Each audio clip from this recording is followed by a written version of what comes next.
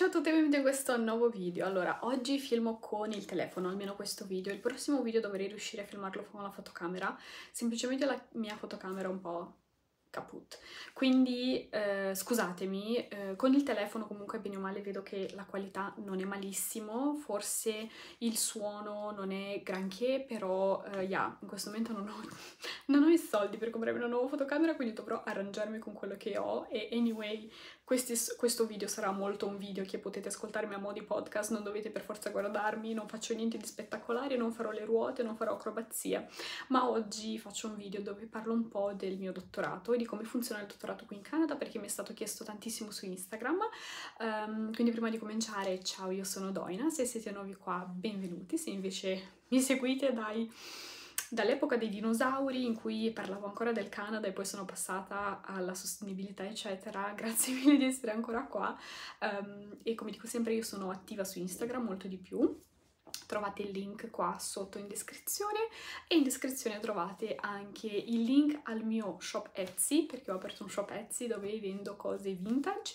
ci sto provando, è un piccolo esperimento, quindi se per caso vi possono interessare delle cose andate a vedere. E sempre qui sotto in descrizione trovate il mio link affiliato con la Wild, che è un deodorante che io utilizzo eh, da ormai 4 anni, è un deodorante sostenibile, cruelty free, vegano, che io adoro tantissimo c'è un codice sconto per voi e io ci guadagno una piccola percentuale, quindi se vi va anche di supportare eh, il mio canale, eccetera, potete farlo così.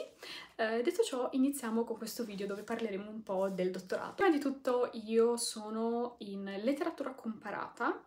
Uh, e sto facendo appunto il dottorato in questo, sto, facendo, sto studiando più che altro la letteratura canadese, ma non solo, uh, non è concentrato solo su quello, alla fine la tua tesi la puoi fare su quello che vuoi, però ovviamente sarebbe meglio che centrassi un po' con la letteratura comparata. Io in questo momento sto finendo i corsi, sto facendo i corsi fino a fine aprile, cioè a fine aprile finisco gli esami con tutti i miei corsi del dottorato e poi inizia la parte più rognosa del dottorato, che sono quella degli esami in inglese, si chiama, in francese francese si chiamano examen de syntax, che non saprei neanche come tradurli, ma mh, mm, eh, vedo un attimo dopo se esiste un termine in italiano, ma sono degli esami che tu devi fare, devi passare prima di cominciare la ricerca, senza quello non puoi andare avanti. E sono degli esami molto importanti perché vogliono insomma vedere eh, la tua conoscenza in tutto ciò che hai fatto finora e in generale il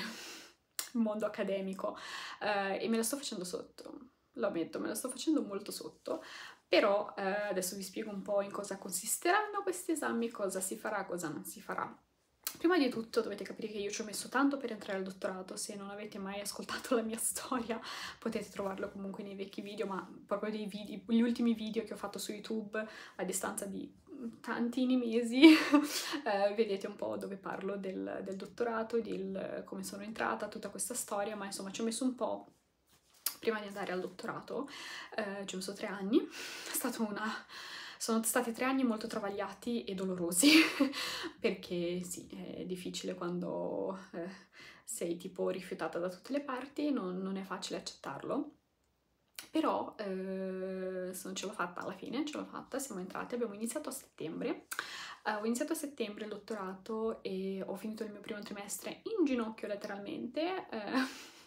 sia per il dottorato di per sé che è molto molto impegnativo, sia per altri problemi diciamo personali che eh, non starò qui ad annoiarvi con a riguardo, magari ne parlerò più avanti. Um, e, e, adesso invece, uh, dal, se avete visto il video precedente, Uh, sto facendo due università nello stesso tempo e non voglio ripetere quello che dicono in quel video, se volete andare a capire il perché andate a vedere giusto il video prima di questo. Detto ciò, uh, io giustamente prima di entrare al dottorato qui in Canada avevo comunque provato ad applicare anche in altri paesi. Uh, ho mandato application in Irlanda, ho mandato più che altro domande e altro in altri paesi europei, ma non ho mai avuto veramente delle risposte esaustive o comunque i loro siti facevano veramente cacare. Uh, e ho anche mandato una domanda in Corea. in realtà in Corea io sarei stata anche accettata, cioè eh, ce l'avrei fatta ad essere accettata eh, se non fosse per il fatto che ho deciso all'ultimo di ritirarmi, diciamo, per il semplice fatto che avevo mandato tutta la mia domanda, loro mi hanno detto però ci servono dei documenti in più e ci devono essere tipo legalizzati, tradotti dall'ambasciata coreana, una cosa del genere. Ho detto, raga, io vi ho già mandato i miei documenti che sono stati tradotti e legalizzati da un traduttore in Canada, cioè più di così che cosa volete che vi faccia? E siccome era un periodo un po' così, ho detto vabbè lasciamo stare, non importa, ehm, va bene così. E vi dico da una parte sono stata un po' triste perché dopo ho provato di nuovo ad applicare in Corea, ma non nella stessa università, in, tipo alla Seoul National, che è tipo l'università più fica della Corea, ma cazzo vuoi andare a fare? Ovviamente mi hanno rifiutata perché quella è molto più competitiva e, e tutto, uh, però va bene così perché onestamente non credo che sarei andata in Corea, non me lo sarei potuto permettere, a meno che non ci fosse stata una borsa di studio potente di mezzo, non me lo sarei potuto permettere, poi diciamo con la situazione che è successa dopo l'autunno scorso nella mia vita, meglio che io sia rimasta in Canada. Uh, quindi in tutto ciò io uh, ho consultato i siti di milioni di università Uh, e come funziona per esempio qui in Canada. Ovviamente se voi siete in Italia e uh, funziona in modo diverso, uh, so benissimo che in Italia magari funziona in maniera un po' diversa, eh, però qua per i dottorati più o meno funziona nello stesso modo, soprattutto per l'ambito umanistico. Prima di tutto c'è dei corsi obbligatori, nel senso c'è un corso, nel mio, nel mio dipartimento c'è un corso obbligatorio che ho già fatto e gli altri te li puoi scegliere tu Devi fare questi corsi, ovviamente devi passarli, cercare di avere una buona media e tutto, uh, non devi mantenere una certa media, ma insomma sei al dottorato, quindi sarebbe meglio mantenere una certa media, per adesso sta andando tutto bene, sto, sto avendo una media pazzesca, quindi ok. Dopo che hai finito questi corsi, io quest'estate farò uh, quello che si chiama il corso um, tutorial, tipo il tutorial class, non so se si dica tutorial class, ma è, mm, vabbè, come se fosse del tutoraggio, chiamiamolo così, eh, ovvero che io con il mio relatore, o il relatore, è una persona deliziosa oltretutto, per chi sapesse il mio precedente, ma nel video precedente potete vedere tutti i miei traumi, eh, credo che andrà tutto bene, eh, con, il mio, con, il mio, relatore dobbiamo iniziare a mettere in insieme um, un programma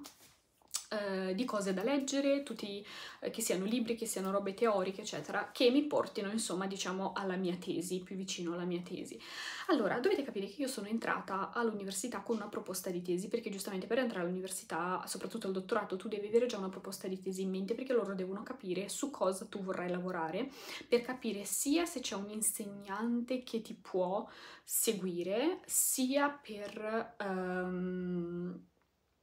capire un po' se la, la, tua ricerca ha un senso, gli può interessare o meno. E la mia ricerca è stata effettivamente su Tolkien, cioè nel senso io volevo fare una tesi sull'ambientalismo, quindi volevo fare una cosa sull'ambiente e concentrarmi su Tolkien, però allo stesso tempo volevo metterci in mezzo altri autori, non per forza solo lui da solo, semplicemente magari lui sarebbe stato il main topic e poi ci avrei messo in mezzo gli altri. Però quando sono andata a incontrare il mio relatore, lui mi ha detto guarda, se vuoi fare la tesi su Tolkien you go for it, io sarò lì a supportarti, però eh, ovviamente essendo in un programma di letteratura comparata sarebbe meglio comparare. Quindi eh, mi ha detto con Tolkien purtroppo le cose che tu vuoi mettere in mezzo, perché per esempio in questo momento sto studiando la letteratura indigena in Canada ed è super interessante, poi dal punto di vista dell'ambiente secondo me bisù. Uh, però mi ha detto tu non puoi mettere in mezzo letteratura indigena e Tolkien, cioè sono periodi diversi, sono cose che non combaciano bene insieme, quindi sarebbe meglio o concentrarti solo sulla letteratura indigena o concentrarti solo sulla letteratura uh, fantascientifica, quindi fantasci uh, fantasy, eccetera, uh, e poi insomma metterci in mezzo. Mi ha detto tu Tolkien lo puoi mettere in mezzo assolutamente senza problema, ma non potrà essere il tuo main topic. Diciamo che un po' ci sono rimasta male perché sapevo di voler lavorare tanto su Tolkien, ma lui mi ha assicurato dicendo guarda comunque che tu Tolkien puoi assolutamente metterlo in mezzo, quando farai l'insegnante puoi assolutamente metterlo nel tuo programma, nessuno ti impedisce di fare ciò, però diciamo che la tua tesi di dottorato è,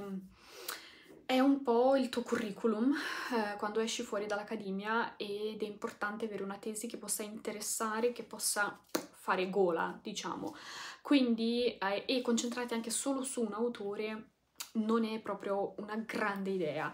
E io gli ho detto, guarda, hai ragione, ci avevo riflettuto anche io da sola in generale su questa cosa e ho detto comunque per me la cosa importante era parlare dell'ambiente, quindi parlare, fare comunque una tesi ambientalista per quanto possibile con la letteratura e soprattutto se la potevo fare sulla speculative fiction, quindi tutta la fantasy, fantascienza, tutte quelle cose lì in mezzo. E lui mi ha detto questo si può fare senza problemi. Quindi diciamo in questo tutoraggio noi dobbiamo, io devo leggere un botto di roba, che è come se non leggessi già abbastanza, devo leggere un sacco di robe teori teoriche, cioè alla fine sono io che metto in mezzo cioè metto insieme queste cose e poi a fine dell'estate devo fare un esame scritto su tutto ciò che ho fatto quest'estate. Quindi alla fine eh, dell'estate devo fare questo grande esame che fa parte giustamente di uno dei grandi esami pre-tesi. Eh, dopo aver fatto questo, ovviamente a fine dell'estate lui mi ha anche detto se tu a fine dell'estate, dopo aver letto tutte queste cose e mi dici guarda mi ha fatto cagare tutto, voglio fare veramente la tesi su Tolkien, me lo dici e poi pre pre prepareremo una proposta di tesi solo su Tolkien e basta. Però effettivamente io ci ho riflettuto molto perché comunque eh, la letteratura indigena mi sta piacendo tantissimo, molto interessante soprattutto dal punto di vista ambientale e poi tutta la cosa eh, fantasy eh, a me fa molta gola perché Comunque se io devo pensare a me stessa a insegnare nell'ambito accademico, mi piacerebbe tantissimo insegnare eh, il fantasy, cioè mi piacerebbe insegnare comunque l'ecocriticismo, tutta la questione ambientale e il fantasy, cioè per me sarebbe questo il sogno. Quindi eh, effettivamente lui mi ha dato dei consigli super preziosi, quindi faremo, eh, quest'estate avrò più, cercherò di ampliare la mia conoscenza al riguardo e poi puntare su appunto... Eh, oh, Gesù, fantascienza porca troia. Quindi, detto ciò, eh, io appunto devo eh, leggere un sacco di cose, devo capire un attimo dove voglio andare a parare, ma sicuramente comunque la questione dell'ambientalismo, dell'ecofemminismo è super interessante e sono sicura che nell'ambito accademico è una cosa su cui puoi lavorare tantissimo ed è anche molto richiesto ora come ora, perché adesso improvvisamente la gente interessa dell'ambiente. Um, quindi detto ciò, questo è uno dei primi cose che devo fare. Poi entro fine ottobre massimo devo fare le altre due cose, ovvero devo preparare la mia proposta di tesi, quindi devo farla bene, benissimo. Solitamente la proposta di tesi è molto lunga per il dottorato, cioè devi fare una proposta di boh, almeno 10 pagine, una cosa del genere, dove metti in mezzo tutte le risorse, tutte le cose che eh, hai consultato, tutte le cose che utilizzerai e devi anche dare, devi fare anche una bibliografia annotata di tutto ciò e poi devi preparare un syllabus, che il syllabus cosa sarebbe? E quando tu fai lezione, in Italia per me non c'era questa cosa, ma eh, nelle università estere eh, il syllabus comunque è il programma dell'anno, cioè eh, tu hai un programma che seguirai soprattutto nella letteratura, per esempio noi abbiamo, non so, prima settimana facciamo questo libro, parliamo di questo, seconda settimana facciamo questo, questo, e quindi il syllabus è anche mettere in mezzo, met mettere insieme delle risorse come eh, testi primari come letteratura e testi secondari come critica letteraria, e eh, dare un senso a questo corso, quindi io devo fare un syllabus per il mio campo, che quello sarà la mia specializzazione, ovvero la mia specializzazione sarà l'ecocriticismo, quindi fare un syllabus per, un, per, per gli studenti graduate, quindi è come se dovessi fare un programma per gli studenti della magistrale e del dottorato e fare un syllabus che abbia senso del cosa voglio ottenere con questo corso, cosa voglio insegnare, cosa voglio arrivare a, raccontare, insomma. E poi devo fare un syllabus per un corso undergraduate, quindi per le persone che sono alla triennale, su una cosa che non so, che ne so, tipo fare un syllabus sulla, sulla poesia, che io non so un cazzo, oppure un syllabus sulla letteratura québécois prima del 1700, sai, una cosa che io per esempio magari so ma conosco fino a un certo punto e non sono molto preparata al riguardo e ovviamente eh, i due syllabus sono anche molto diversi come... Mm, eh, come importanza o comunque come peso, perché giustamente quello del tuo campo dovrebbe essere anche una cosa molto più studiata, invece l'altro deve essere una cosa in cui tu hai fatto ricerca e pensi più o meno che questo potrebbe andare bene. Ovviamente queste sono cose che tu lavori col tuo relatore. Quando mandi queste cose, queste, l'esame finale estivo e queste co- cose che poi manderò verso ottobre, Uh, c'è una giuria che dovrà correggere queste cose e poi ci sarà l'esame orale che è l'esame orale terribile perché è un esame che dura tantissimo, tipo anche tre ore, in cui loro ti, ti chiedono cosa per cosa, il tipo perché hai usato questo testo, perché l'hai scelto, perché pensi che questo sia importante, perché questo pensi che sia rilevante, perché hai fatto questo, parlami di questo testo, cioè tu alla fine devi arrivare a questo esame in cui qualsiasi cosa tu hai scritto nel tuo esame estivo, nel tuo syllabus, nei tuoi due syllabus e nella tua proposta di tesi, devi conoscere alla lettera quelle cose perché all'esame orale questi ti bombarderanno di domande per essere sicuro che effettivamente tu sai quello che stai facendo. Quindi diciamo che io sono un po' in ansietta, soprattutto per queste cose, per l'esame orale, non tanto per le cose scritte che dovrò comunque, eh, diciamo, manage il mio tempo principalmente eh, e fare le cose eh, cercando di ehm, avere delle deadline da dare a me stessa. Però fatto quello e passato quello, si parte con la tesi. Quindi tu, una volta che hai fatto quello, che credo che questo esame orale lo farò dopo Natale, mm, in primavera, insomma, um, si può partire con la tesi. Quindi una volta che si parte con la tesi, lì ormai dipende molto da te, dal tuo relatore, e ovviamente a fine del, di, della tesi sì, c'è la difesa della, della, tesi in cui tu dovrai difendere la tua tesi e anche quello è un esame molto molto molto molto lungo, quindi diciamo che finché non arrivi a fare quell'esame, a vederti fuori da quell'esame, non è finita. Quindi secondo me non sarà difficile la parte del devo leggere un sacco, devo scrivere un sacco, sarà veramente tutti questi esami orali che mi mettono un po' di ansia. Però io, avendo già fatto la magistrale Sherbrooke, io ho fatto questo processo anche alla magistrale. Però alla magistrale è molto meno intenso, sono molto più clementi, sono molto più gentili, invece al dottorato ci vanno giù pesante.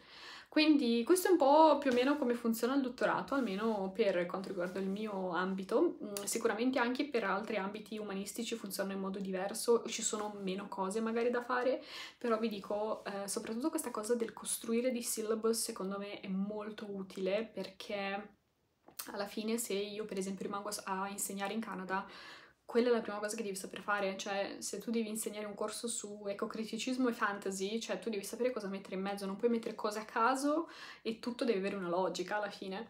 Uh, in tutto ciò ovviamente devo anche cercare di par partecipare ai call for papers, devo cercare di avere delle pubblicazioni a fine del dottorato perché cioè, se facciamo il dottorato senza pubblicazione alla fine... Uh, come, come se averlo fatto inutilmente, quindi c'è un po' questo stress, sicuramente il dottorato rispetto alla magistrale è molto più stressante, c'è molto più tempo da dedicare, tempo che io molto non ho perché purtroppo lavoro e questa cosa mi impedisce di dare sempre il 100%,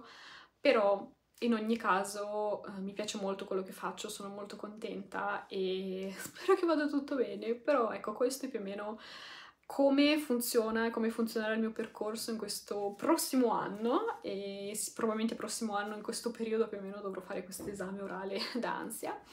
Uh, e niente, fatemi sapere se avete domande, uh, come funziona, se fate un dottorato magari in altri paesi, fatemi sapere come funziona, uh, che sono sempre curiosa. E, e, niente, qualsiasi cosa scrivetemi, scrivetemi qua sotto, seguitemi su Instagram, su TikTok, su Instagram sono molto più attiva, eh, ogni tanto parlo del dottorato anche lì, parlo magari ogni tanto di libri che sto leggendo eccetera, quindi eh, se vi interessa anche quello ci vediamo qua, perché ci vediamo là, perché eh, siamo solo ai primi di marzo e ho già letto 33 libri dottorato in letteratura si legge libri, cioè che cosa si aspettava di fare? Cioè, non so, vabbè. In tutto ciò, niente, grazie per aver, siete, se siete arrivati a questo, a fine di questo video, lasciatemi un fiore, così so che siete arrivati alla fine. Eh, vi ringrazio tanto e noi ci vediamo la prossima volta, ciao!